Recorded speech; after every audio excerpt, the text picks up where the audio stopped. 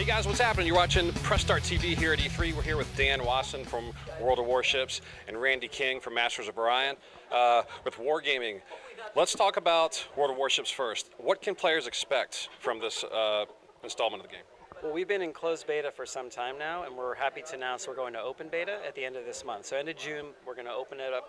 Uh, we've been focusing really heavily on customization, so we got a lot of great features. The achievement system lets you unlock uh, consumable boosts that you can use in battle, and those are going to help gameplay. So it's not just to make the ships look awesome, but it's actually going to have an effect on gameplay. So why World of Warships? I know World of Tanks obviously was a ma huge, massive hit, huge following. It just seemed like the next uh, thing to do, right? Yeah, well, it's it's been a passion project for us for a long time. The team in St. Petersburg really loves trying to deliver this iconic uh, World War II authentic historical experience, and so that's just been something we've been working on for, for many years now. So how many players can actually be in a match? Um, you're going to say 15 on 15 on each side, nice. up to that's the max, yeah. So that's a lot 30, of, Will.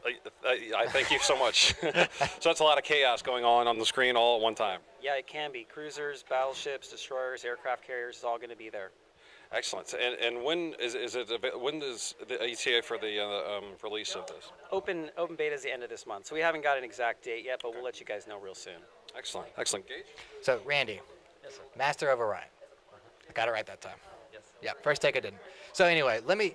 What I love doing is talking to people who work on this game and having them open up with their big pitch. Like when they introduce this game to someone, what's their thing? So right now, give me your elevator speech on Master of Orion so and educate everyone what this awesome game is. All right. So Master of Orion for Wargaming is a reboot of the classic iconic series of the 4X uh, strategy space games. In fact, Master of Orion was one of the very first.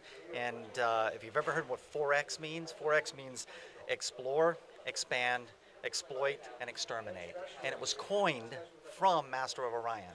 So we are rebooting the series, and what we've done is try to stay as true to the original as possible with all the elements of that gameplay, but add a flair of today to it. Upgraded graphics, beautiful graphics. We hired uh, AAA voice talent and have incredible animations on all the different races. Uh, the first release will be the initial 10 races that were from Master Orion 1. And you'll explore the galaxies, expand your empire, exploit your resources, and occasionally have to go to war, enhance, in, in other words, exterminate.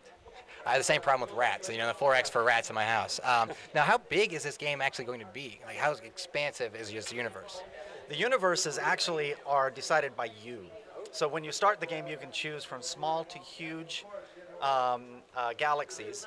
And uh, for example, the huge galaxy has over 100 systems, and each one of those systems has anywhere from one to six planets. And so there's an immense amount of travel and exploration and uh, decision making to make inside the game.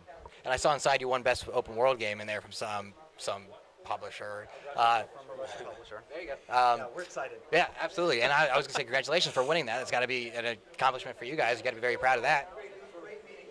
Yes, we're very excited for it. It's um, a, a, very pleasant surprise to have somebody noticing the effort that we've put into this game. I think um, we have we've made this game for for everybody, but we've tried to stay true to it to the original uh, players of this game, and I think they're going to be extremely pleased about the game and what we've done, done to it.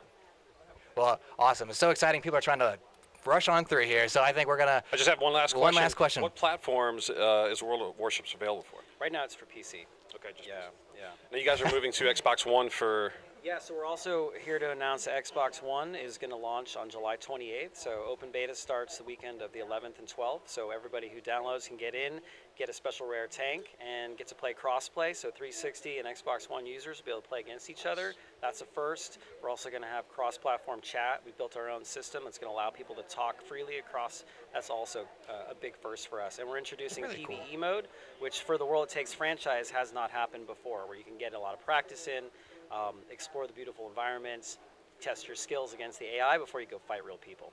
Excellent, excellent. Well, you know, Wargaming, World of Warships, World of Tanks, Master of Orion, I know people are super excited about these games. I know they're going to have a lot of fun playing them. We're excited for them. Thank you guys so much for joining us. We really appreciate it. All right. Thank you very much. Thank you guys. Keep it here on Press Start TV. Woo!